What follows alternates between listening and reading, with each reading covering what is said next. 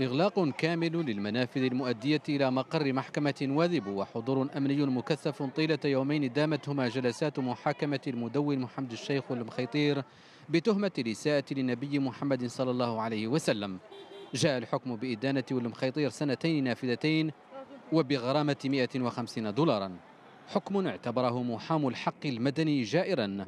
متهمين المحكمة بمخالفة القانون عندما أسقطت الحق المدني من الملف. المحكمة العليا اليوم عدلت أطراف الدعوة.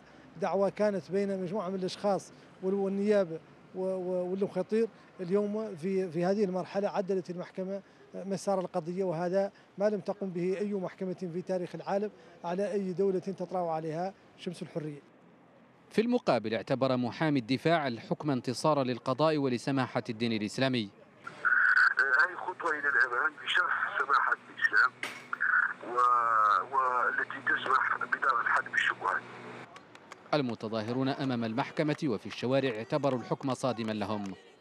لا الشاكي الموليانا ولا ظالم حتى ولا مخيطياته ما ينطلس حقيقة مسونا إحنا المخيطي ما ينطلس مطلسوا ما ينطلس العدل والقضاء ما ما ما ما, ما يتعدلوا. كاع دولة في الشريعة ولا في المسلمين. ولا دولة تال امه محمد. وقد سبق لول مخيطير أن أدانته إحدى المحاكم بالإعدام قبل أن تأمر المحكمة العليا بإعادة ملفه إلى محكمة الاستئناف وبتشكيلة مغايرة هي التي أصدرت الحكم اليوم. بهذا الحكم يكون القضاء الموريتاني قد طوى واحدا من أكثر الملفات حساسية وإحراجا بالنسبة إليه. شارع موريتاني غاضب يطالب بإنزال أقصى العقوبة بولم خيطير ومجتمع دولي ومنظمات حقوقية تطالب بالتخفيف عنه محمد فضل حرة نواذب